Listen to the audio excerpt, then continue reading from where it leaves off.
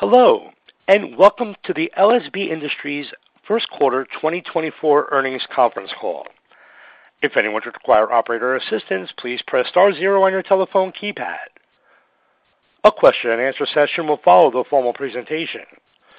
You may be placed into question queue at any time by pressing star one on your telephone keypad. We ask you please limit yourselves to one question and one follow-up. As a reminder, this conference is being recorded. It's now my pleasure to turn the call over to Fred Buonocore, Vice President, Investor Relations. Fred, please go ahead. Good morning, everyone. Joining me today are Mark Behrman, our Chief Executive Officer, and Cheryl Maguire, our Chief Financial Officer. Also joining us today is Damien Renwick, our Chief Commercial Officer.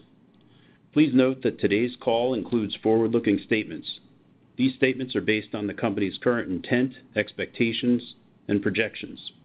They are not guarantees of future performance, and a variety of factors could cause the actual results to differ materially. On the call, we will reference non-GAAP results. Please see the press release in the Investors section of our website, lsbindustries.com, for further information regarding forward-looking statements and reconciliations of non-GAAP results to GAAP results. As a reminder, we have a stockholder rights plan to protect certain tax attributes. Please see the investor section of our website at lsbindustries.com for further important details. At this time, I'd like to go ahead and turn the call over to Mark. Thank you, Fred. Turning to page four of our presentation, first quarter results were in line with our expectations. Pricing was down year-over-year, but this was offset somewhat by stronger sales volumes and lower natural gas costs. We continued to generate positive free cash flow in the first quarter and used our strong cash position to repurchase our stock, returning capital to our shareholders. We also reduced our debt by repurchasing notes during the quarter, further de-risking our balance sheet. We continued to selectively repurchase our stock and notes post the first quarter, and we'll seek opportunities to further both of those efforts. Lastly, on the low-carbon ammonia initiatives, our two projects remain on track with the timelines that we discussed back in March, and I'll provide more color on these later in the call. Now I'm pleased to turn the call over to Damien Renwick, our Chief Commercial Officer, who will discuss the current market dynamics and pricing trends. Damien? Thanks, Mark, and good morning, everyone. I'm glad to speak with you today. On page five of our presentation, you'll see an overview of our agricultural end market. Corn prices remain at levels that should translate into healthy income levels for farmers. Despite expectations for increasing U.S. corn supply in the coming months, the December 2024 corn futures price currently exceeds $4.60 per bushel. The USDA recently reduced 2023-2024 global stock estimates for key grains, including corn, providing some price support. In addition, the EPA recently extended the sale of 15% ethanol gasoline, or E15, during the summer, which should provide further support for corn prices. We believe that farmers will remain motivated to maximize corn yields through the application of nitrogen fertilizers for the balance of the spring planting season and again in the fall after the harvest. Ammonia prices have been underpinned by robust demand over the past several months, with a strong pre-plant application season in the U.S. We also saw a variety of factors constraining global supply. This includes a number of cold weather-related events in the U.S. impacting domestic production, the disruption of shipping through the Suez Canal, the delayed startup of new ammonia production capacity that was expected to come online early this year, and natural gas supply issues in Trinidad. We also saw improved UAN pricing develop through Q1 as we continued to successfully execute our direct-to-customer marketing strategy. This allowed us to target pockets of demand where supply was limited as the UAN import pace continued below previous years. Urea prices were volatile in the quarter due to expectations of a resumption of Chinese exports, a dynamic that has historically had a negative impact on global urea prices. However, the Chinese government recently implemented further restrictions on urea exports, delaying the infusion of additional supply into the global market. While we don't sell urea, we do pay close attention to its pricing dynamics, since urea pricing can impact pricing for our UAN and HDAN products. As we look forward through the remainder of the fertilizer season, our order book is well-positioned across our products to support our market perspectives on pricing and demand through May and early June. We have a good balance of forward orders with room to take advantage of spot sales through the application period, depending on the product. On page six, we show pricing trends and forecasts for the key commodities that drive our agricultural business. The upper left-hand chart shows the price trend for the TTF, the European Natural Gas Pricing Benchmark, relative to the price for Henry Hub, the benchmark price for U.S. natural gas pricing. European gas prices have increased over the last month as instability in the Middle East has offset some of the price decrease seen through the end of 2023 and through Q1, following a warm winter and heavy LNG imports. Still, gas prices in the U.S. remain a fraction of those in Europe, representing significant competitive advantage to U.S. producers. We believe the U.S. cost advantage will persist in the coming years, as the chart indicates. Page seven summarizes some key dynamics at play in our industrial and mining end markets. Overall demand remains steady in our industrial business, reflecting the resilience of the U.S. economy. A significant amount of the nitric acid we sell is used to produce polyurethane. Polyurethane, used to make foams, is a major input to both auto and furniture manufacturing.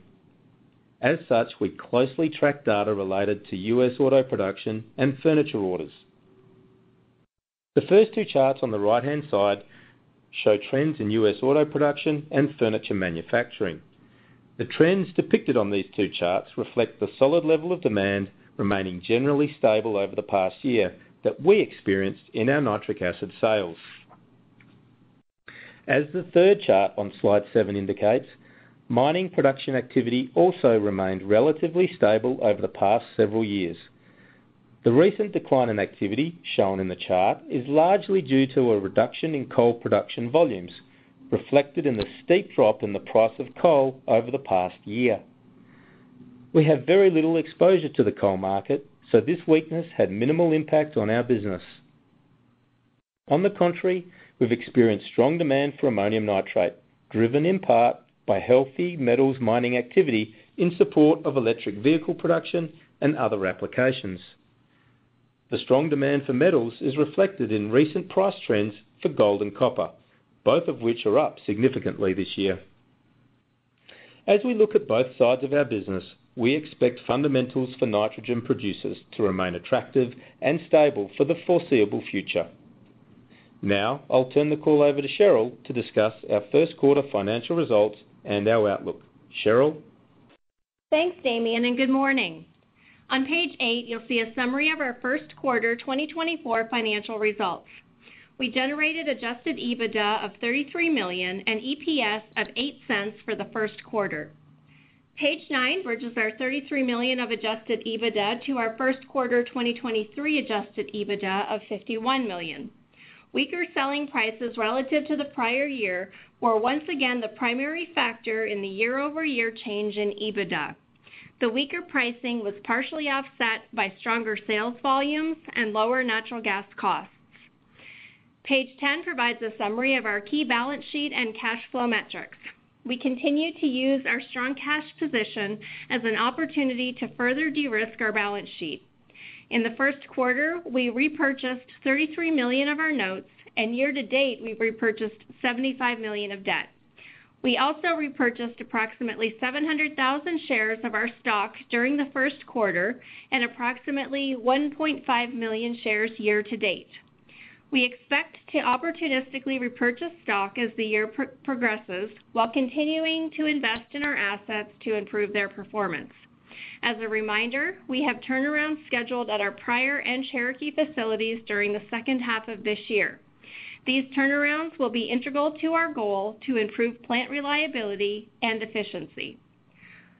Looking forward, the second quarter of 2024, Tampa ammonia currently sits at $450 per metric ton, and NOLA UAN is currently around $270 per ton. we expect some weakening in pricing for both products in the second quarter as we move into the normal seasonal slowdown as the spring planting season closes. More specifically, we expect a sequential decline in our realized pricing for ammonia and our ammonia sales volumes, given the strong spring ammonia run in the latter part of the first quarter. Additionally, the second quarter typically marks the transition away from ammonia fertilizer application, which is usually done prior to planting, to the application of other fertilizers such as UAN, which are typically applied post-planting. As a result, we expect higher UAN sales volumes both sequentially and year-over-year. Furthermore, although we anticipate lower realized fertilizer selling prices compared to last year's second quarter, we do expect that impact to be largely offset by lower natural gas costs, which we expect will be approximately $2.10 per MMBtu in the second quarter, inclusive of transportation. With respect to costs, we are ramping up our preparation for our Pryor and Cherokee turnarounds planned for the second half of 2024. We expect to incur approximately $2 million-$3 million of expense related to this prep work during the second quarter. Putting it all together, we expect our second quarter adjusted EBITDA to be lower than the second quarter of 2023, primarily due to lower realized selling prices. However, we expect a meaningful sequential increase in adjusted EBITDA over the 2024 first quarter as a result of higher sales volumes and lower natural gas costs. Looking beyond the second quarter, after six consecutive quarters of year-over-year declines in product selling prices, we expect pricing to be more in line with prior year quarters during the second half of this year. And Now I'll turn it back over to Mark. Thank you, Cheryl. Pages 11 and 12 pertain to the two low-carbon ammonia projects that we currently have underway. Page 11 summarizes the key information relating to our project with Lapis Energy at our El Dorado facility. This project remains on track with the timeline we discussed in early March. The main gating factor remains the approval of our Class VI permit application from the EPA. Receiving the Class VI approval will enable Lapis to commence construction and then begin capturing and permanently sequestering more than 450,000 metric tons per year of CO2 that we produce at El Dorado. We are in regular contact with the EPA about the permit application. We've been encouraged by the recent feedback indicating that the timeline for approval could be accelerated to mid-2025 relative to our previous expectations at the end of 2025. As a reminder, we expect Lapis to receive the 45Q tax credit of $85 per ton of CO2 sequestered since they will own the capture facility, but they will buy the CO2 from us. At the same time, we will be producing more than 375,000 tons of low-carbon ammonia annually. Collectively, we expect this to yield approximately $15 million-$20 million in annual incremental EBITDA for LSB. As we indicated last quarter, our commercial team is actively pursuing markets for the low-carbon products that we will be producing at El Dorado, and our conversations to date have been very productive. Page 12 summarizes the key aspects of our Houston Ship Channel low-carbon ammonia project. As a reminder, the project entails the design and construction of a world-scale ammonia plant that will produce approximately 1.1 million metric tons of low-carbon ammonia. Samsung Engineering is performing our pre-FEED, and that is expected to be completed during the third quarter of this year, at which point we expect FEED to begin. We anticipate a final investment decision in the second half of next year. Regarding long-term offtake, we continue to work with potential customers to secure long-term offtake for the anticipated ammonia production. Based on our ongoing conversations, we expect offtakers to come from Asia, Europe, and the U.S. The markets for low-carbon ammonia continue to take shape, with many positive developments emerging in recent months. JERA, Japan's largest power company, has a three-month trial underway using 20% ammonia to co-fire one of its coal-burning power plants with the goal of eventually using 100% ammonia in its plants as a means of dramatically reducing its CO2 emissions. The success of this trial would be groundbreaking in terms of providing the viability of ammonia use for large-scale power generation. While Japan is a first mover in this regard, Europe, which has previously been entirely focused on green zero-carbon power generation, is increasingly considering blue or low-carbon ammonia as a more practical emission reduction option. This is largely due to the currently prohibitive high costs of producing green fuels. European governments are currently working on legislation intended to make low-carbon ammonia eligible for the incentives that now cover only green products. If this legislation passes, the global market for blue ammonia would be considerably larger than anticipated when we initially began the process of developing our projects.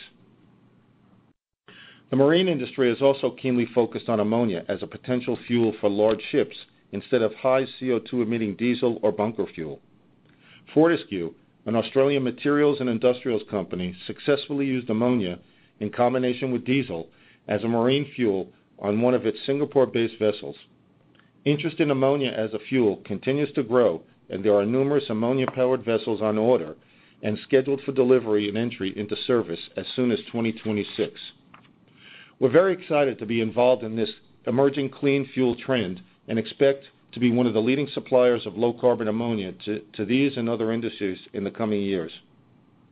We have a lot of initiatives ongoing to improve our current operations that we believe will provide a meaningful increase in profitability and, in turn, shareholder value. Combining those with our low-carbon activities, we believe we're on our way to creating a profitable play on the energy transition. I'm excited about our future. Before we open it up for questions, I'd like to mention that we'll be participating in the following conferences in June: the Stifel Cross Sector Insight Conference in Boston on June 5th, the Deutsche Bank Industrials Conference in New York on June 6th, the Wells Fargo's Industrial Conference in Chicago on June 12th, and the Jefferies Virtual ESG Conference on June 20th. We look forward to speaking with some of you at those events. That concludes our prepared remarks, and we will now be happy to take your questions. Thanks. Thank you. We'll now be conducting a question-and-answer session. If you'd like to be placed into question queue, please press star one on your telephone keypad. A confirmation tone will indicate your line is in the question queue. You may press star two if you'd like to move your question from the queue. As a reminder, we ask you please ask one question and one follow-up, and that's star one to be placed into question queue. Our first question today is coming from Josh Spector from UBS. Your line is now live. Yeah. Hi. Good morning. Um, so I wanted to ask on one of your prepared comments when you talked about UAN prices higher because the supply-demand is tighter in the U.S. through the second quarter. If you can kind of compare that to your comments about pricing moving down through the quarter, Uh, obviously, there's seasonal factors as a part of that, but when do you think the supply-demand in North America becomes maybe more balanced and links back to the cost curve versus a tighter dynamic? Damien, why don't you take that one? Yeah. Hey, Josh. How you doing? Um, look, I think there's a couple of elements to your question. So first of all, we're seeing um, pretty pretty stable UAN prices. I mean, they took a turn up through Q1 and the early part of Q2. Um, and really, what we've seen, one of the key dynamics playing out here in the U.S. is UAN imports um, have been tracking much lower than prior years. And so that's created some pockets of opportunity, as I said in my earlier remarks, where we've been able to sort of take advantage of that. Um, you know, other factors that are going to come into play, we've got urea at the moment. The volatility in urea has, I guess, um, created a little bit of uncertainty for farmers and buyers. And so there's forward buying to a limited extent, but um, you know, we should see stable prices um, up until we start to see the reset. And you know at this stage, we're not sure when that will be, but uh, it'll be towards the end of Q2. We think there's a bunch of pent-up demand, though, right? Yeah, I think so. In terms of the retailers and co-ops, they're buying closer to hand-to-mouth. So there'll be a time when that application really starts and kicks in, and there'll be a surge of buying activity, and that'll support pricing um, right through until we get to the end of season. Thanks, Damien. I appreciate that. And I wanted to follow up on some of the guidance comments that Cheryl made. Um, I'll skip 2Q, but it seemed like when you were walking through the rest of the year, you were talking about, I don't know if I heard you in terms of flat EBITDA for 3Q and 4Q versus prior year, or if you're talking about flat volumes. And if it's flat EBITDA, I guess 4Q would be surprising that you'd be calling that this early when I think your guidance on volumes was that volumes would be higher, and I expect prices would probably seasonal lift. So can you maybe clarify and talk through some of that? Thanks. Um, yeah, sure, Josh. I think let me just clarify your question. Um, I did say in the script that, you know, after six consecutive quarters of, you know, lower pricing on a comparative basis that, you know, post Q2, we would start to see, you know, normalization of pricing against the prior years. So we wouldn't have that big decline versus prior year comparative uh, periods. Is that the point that you were referring to? Yeah, maybe I misheard pricing versus EBITDA. Um, I thought you were starting to guide towards second half EBITDA flat year-over-year. So if I heard that wrong, then that's, um, I mean, that pretty much answers it. Yeah. Just in relation to pricing, not EBITDA. All right. Thank you. Thank you. Thank you. Next question today is coming from Adam Samuelson from Goldman Sachs. Your line is now live. Uh, yes, thank you. Good morning, everyone. Morning, Adam. Morning. Morning. Um, maybe uh, picking up on that last kind of line of questioning as we obviously you kind of gave some framework on EBITDA for the second quarter. No longer thinking pricing would be a year-on-year headwind in the second half of the year. I guess, as we would think about what that would net to from a full year earnings perspective and then bridging to kind of the normalized EBITDA performance that you framed back at the Analyst Day a little over a year ago, um, help us think about the operational uplift still to be realized after this year as we think about operating rates and at the at the plants. Um, obviously, there would be the incremental uplift from uh, carbon sequestration and the clean ammonia. But um just on the on the plant plant reliability point, what can that contribute kind of in 2025 and 2026? Um, what's your confidence level in actually getting there? Yeah, sure, Adam. Um, I think what I would I would probably do is bridge from 2023, which we were around 133 million of EBITDA.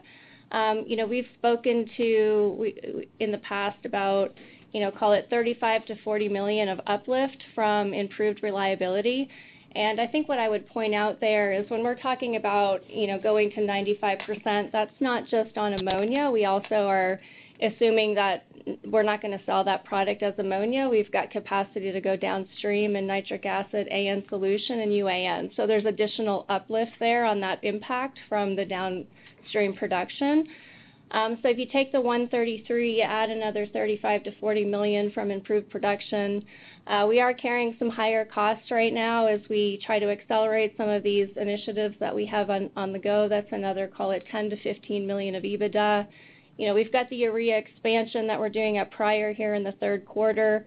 Some of those margin enhancement projects should add another $5 million-$7 million of EBITDA. And then we've talked about the Lapis agreement, and that's another, call it 15 million from carbon sequestration coming online in 2026.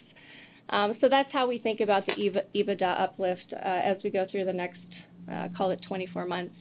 Yes, Adam, um, as far as confidence in our ability to do it it's a great question, actually. And so we spent um, probably the last month really spending time with our sites and our manufacturing leadership to create a roadmap on how we get to 95% and what it will take. And so I would say that we're highly confident that we can get there. That's helpful. And then uh maybe another one for Cheryl, just on the balance sheet. Uh, you bought back some stock. You also bought back um, some of the some of the notes in the quarter and seemingly further in April. Um, do you have a total target in mind for what you would be looking at from a capital deployment perspective in terms of buyback and debt repurchase this year? Yeah, I think that, um so we bought back $75 million of debt to date, and we've bought back um, another. $10 million-$12 million of. Of stock. stock. Yep. I think we've allocated about $125 million uh, to buy back a combination of debt and stock, and then we'll kind of take a breather there, see where we are. Um, see where some of our projects are and what our cash needs are, and then we'll make a decision on whether we move forward with continued purchases or not. All right. That's um, uh, really helpful. I'll pass it on. Thank you. Yeah. Thank you. Next question is coming from David Begleiter from Deutsche Bank. Your line is now live. Thank you. Good morning. Uh, Mark, just looking at natural gas prices, how are you thinking about uh, taking advantage of these lower prices over the longer term? Well, you know, it's a great question, and I've, um, you know, we debate this internally, and we've debated it for the last, you know, five years. Um, We seem to, you know, wanna take some. Um, we've tried taking some, I'd call it forward purchases 'cause they're not really hedges. Um, and you know, we've won some of them, and last year, unfortunately, we actually lost in a big way, right? We lost uh, the potential for, call it $40 million based on locking in at higher prices when the actual prices were somewhat lower. Um so I think we're taking the position right now that Um, we lock in. We make sure that we have enough gas at the beginning of every month to lock in 90% of our gas needs.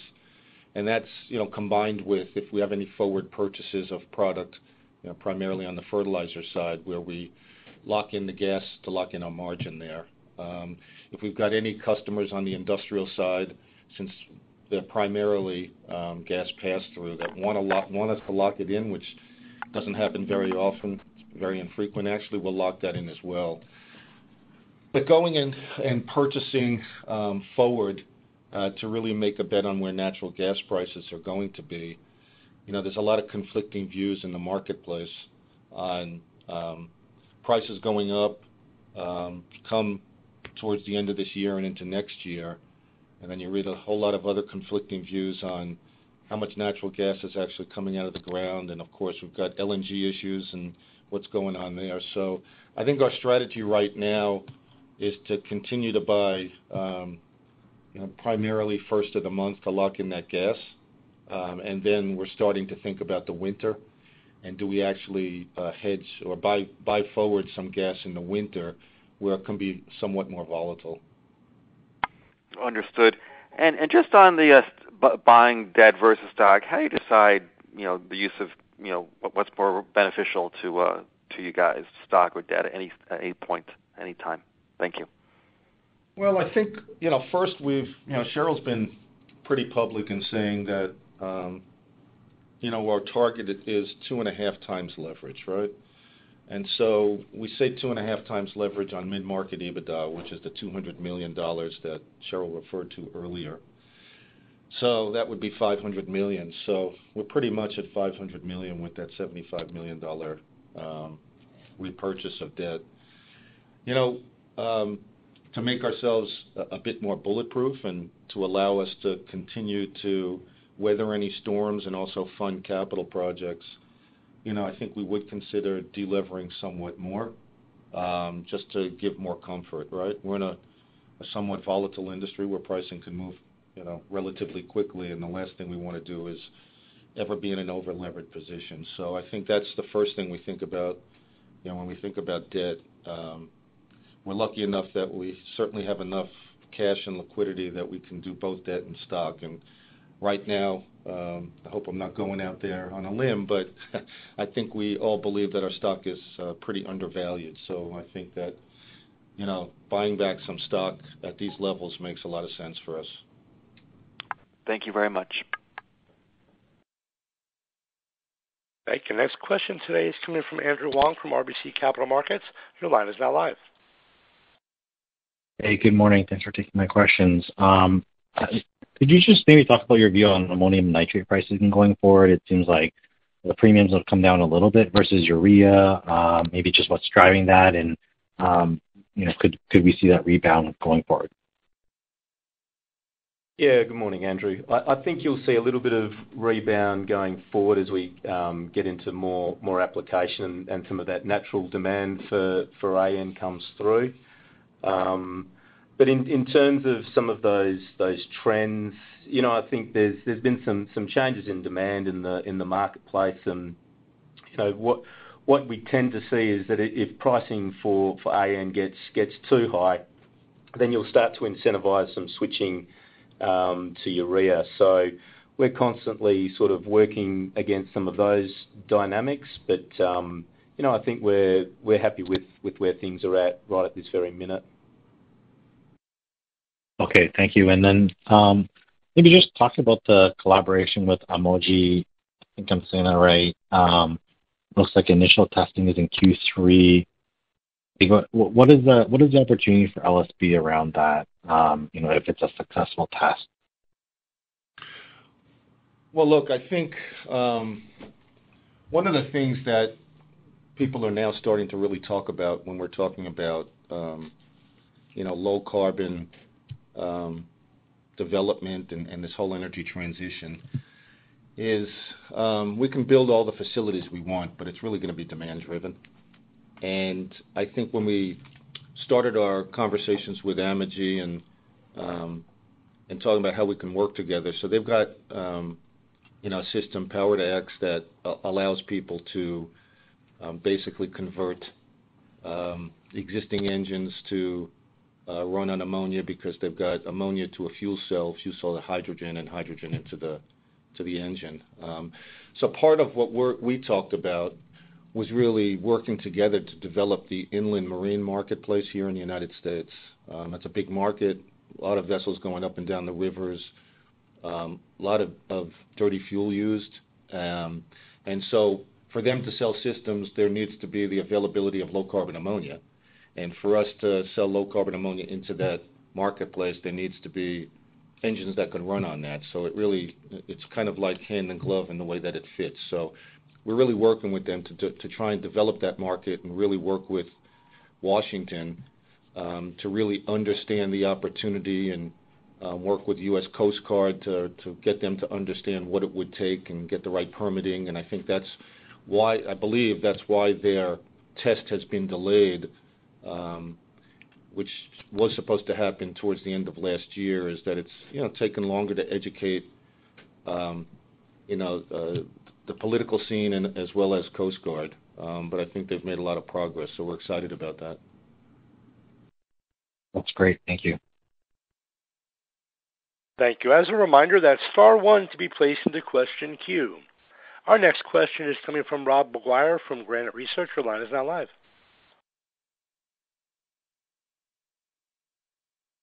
Rob, perhaps your phone is on mute. Thanks so much. Uh, good morning. Could you please talk about your healthy increase in downstream production volumes? Uh, perhaps just elaborate on what's behind that, and if you think it could uh, continue on a year-over-year basis um, for the remainder of 2024. Yeah. Good morning, Rob. Um basically, with we're sold out on all of our downstream plants. So as we get improved performance from those assets, then we're in a good position to sell them and increase the the volumes. And that's exactly what we've been doing right across the board. So it's it's pretty simple in that aspect. Yeah. I think in fact, we've got about 200,000 tons of ammonia that we sell Um, in El Dorado um, and inject into the pipeline to a customer that we'd love to find a way, and we're working diligently to find a way to upgrade. So I think we've still got some more upgrading capabilities. We'll take some more capital to do that. Mm-hmm. Um, like an expansion that we've talked about in the past. But we think that there's certainly margin enhancement as we move forward. Yeah. And the other bit of margin enhancement that we we continually revise is basically what's the mix, right? And how do we optimize that mix, and what's the position on pricing or term of contract or whatever we take on those upgrades. So, um, yeah. Yeah. And I think one other thing I would point out, Rob, is when you're thinking about Q1 to Q2, um, and I kind of alluded to it in the script, we expect to see further increase in volumes on all of our downstream production for UAN, AN, and um, nitric acid. And then, of course, you'll see a corresponding decrease in ammonia sales, um, as we look to continue to upgrade further. That's helpful from all three of you. Thank you. Uh, moving on, uh, how would you characterize the strength of the spring application, and what does that tell you about future demand? Uh, in other words, could you also talk about it, you know, if you think there was a pull forward from 2Q into uh, into Q1? You kind of touched on it in the comments, but if you could elaborate, I'd appreciate it. Yeah, look, I think um, the way the season is setting up, it's it's looking pretty good. Uh, planting is is running ahead of the five-year average. I think in the last report, we're about about 27% versus 22% on average. So that's all pointing to a good season. Um, look, clearly we had a really strong uh, pre-plant run on ammonia. Um but we're now really focused on what that means for UAN and some of the other nitrogen products. And we think we're, um, you know, we're well positioned to take advantage of whatever the season throws at us, and we're confident that it'll be a pretty healthy uh, spring this year. Okay, I appreciate that. And then lastly, you kind of touched on this in the past, but uh, can you discuss the mining industry's push to decrease its carbon footprint? Are they under different pressure than the rest of corporate America, or is it just simply they're keeping up with everyone else? Oh, that's an interesting question. It's probably a bit of m a bit of both, I think. Um, you know, look, the mining industry is trying to decarbonize, and some of the big producers um, have a really strong effort on that. You know, they've all got sustainability reports and and people responsible for driving improvements there. So, um, you know, we're seeing some of that come through in some of our discussions with them on our low carbon offerings as we look to commission our project at El Dorado. You know, I think we're well placed to take advantage of that. Um, and, you know, we you know, we hope that they continue to try and push uh, to decarbonize their supply chains. But Just to follow on, do you think that there's more demand for low carbon ammonia in the next few years when you start producing coming from mining or industrial? Is it probably gonna look about the same? I think it'll look about the same. It's hard to split the. Um,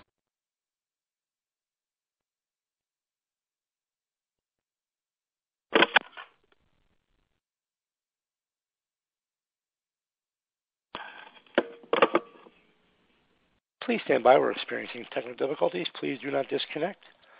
Please stand by.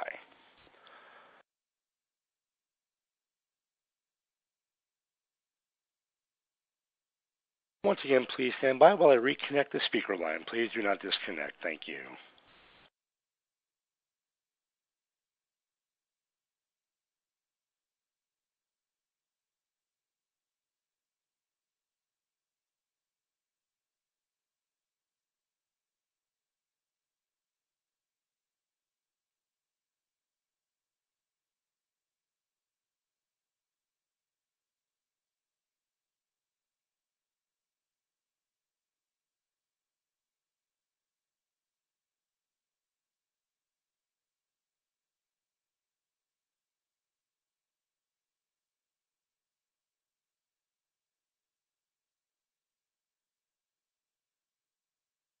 Ladies and gentlemen, please stand by.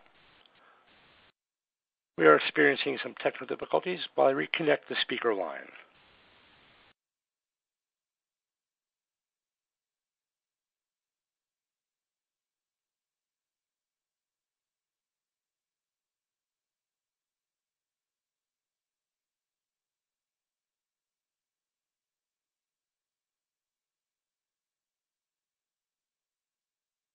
I do apologize for the inconvenience, everyone. Please stand by while I reconnect the speaker line. We do thank you for your patience.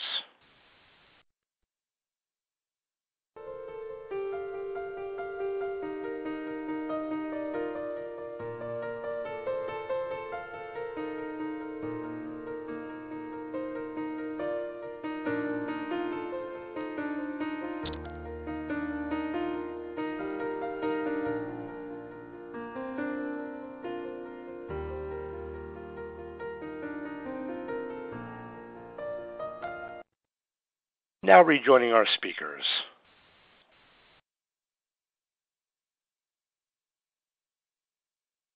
The speaker line has now rejoined. Great. Um, I believe, Rob, you were you were online for a question, Rob? Yes, indeed. Uh, just touching base on. Uh, sorry about that. Uh, I'm just gonna move on, if you don't mind. Are there any meaningful upgrades taking place in the turnarounds to uptick your on-stream rate? Yeah, Rob, we've got a urea expansion that we're pursuing and implementing at Pryor, and that'll um that'll help us produce another 60,000-70,000 tons of UAN per year. Um and the rest of the turnaround scope's really for both sites, Pryor and Cherokee, is really gonna be focused on improving reliability. Yeah. So we expect to come out of the turnarounds um, with much higher operating rates and, uh, you know, and that obviously uh, would just improve um, product for sale. So yeah, we're looking for. These are major turnarounds for us. We're very focused on them, and actually it's a fair amount of capital that we're deploying to into the turnarounds. Thank you. Yeah. Thank you. Our next question today is coming from Charles Neivert from Piper Sandler. Your line is now live. Morning, guys. Just one quick question. The SG&A percentage seems to be on the rise lately. Is there any particular reason for it? Uh, should we expect it to stay at the higher level, or is it gonna come back to where it had been over the last couple of years? Yeah, Charlie, I think you're gonna see us carry an extra $10 million-$15 million in SG&A um, for the next Uh, 12-18 months, maybe 24 months, as we um, push um, reliability programs. Some of that is obviously rolling up to um, the cost of sales, uh, but some of it we're carrying uh, up as corporate overhead. So um we would see once we achieve the reliability rates that we've outlined, we definitely should see some reduction in expense. Okay. In terms of, you know, the, like, a net debt to EBITDA multiple, do you guys have a target in mind? I mean, admittedly, EBITDA has been moving around a little bit over the last year, so your trailing twelve months has seen some big movement. But when things, for lack of better terms, begin to level off and get, you know, less volatile, do you guys have a target in mind as to where you'd like to be when it all works its way through? Yeah, no more than 2.5x levered. Okay. All right. That's all for me. Thanks. Oh. Sure. Gas has come down quite a bit. Obviously, it's still much higher than the U.S., but having seen, you know, where it was, forgetting the obviously incredibly high numbers, but, you know, where it is now, does this seem like you're gonna see some of that European production come back online? You know, at $450 uh, for ammonia, it might not be exceptionally profitable, but it might be enough to keep them in the game, considering, you know, they've got the protection of somebody having to move product into the area. Uh, it just might be easier for them that way. Do you see any increase in European production because of the lower gas numbers coming out of there? Look, I think um, the European producers will probably wanna see some more sustained uh, pricing levels in order to get some confidence to restart operations. I think there's still a lot of um, water to pass under the bridge um, in that aspect. I think that uh, plants that have restarted uh, will continue on, and I think we'll see a little bit of the status quo continue for some months. I also think it depends on, you know, import prices versus cost of production, right? Right. Where those levels are. And so I think if gas is low here and, you know, gas is Um, much higher in Europe, but relatively low compared to where it's been over the last several years, um, you know, if that puts a cap sort of on ammonia prices in general, might be still cheaper for them to import. So I think it's really just a total economic decision. Do you see anyone throwing in the towel completely, sort of like in the way CF chose to close the U.K. ammonia operation, but supply ammonia from the outside? Any of those, any of the current players in and around Europe who might consider closure and either substitution or just outright closure of the facility? Uh, look, not that um, that we've heard of late. I think um, most of the producers like CF and BASF, um, you know, they've already made their moves. A couple of Eastern Europeans have closed down facilities. Yeah. But I think the, you know, the rest are probably you know, those that are operating are happy to do so, and um, those that are suspended or shut down, you know, we haven't heard anything of that turning into a permanent closure. I think the only thing that um, people will start to face after some period of time is you can't just shut down a facility. You do have to. It's expensive, yeah. It's expensive to maintain it, right? Because you have to be able to maintain it so that you can turn it back on. So at some point, I think the cost of maintenance will force some decisions. Okay. That's it for me. Thanks, guys. Yeah. Thank you. We've reached the end of our question and answer session. I'd like to turn the floor back over to management for any further closing comments.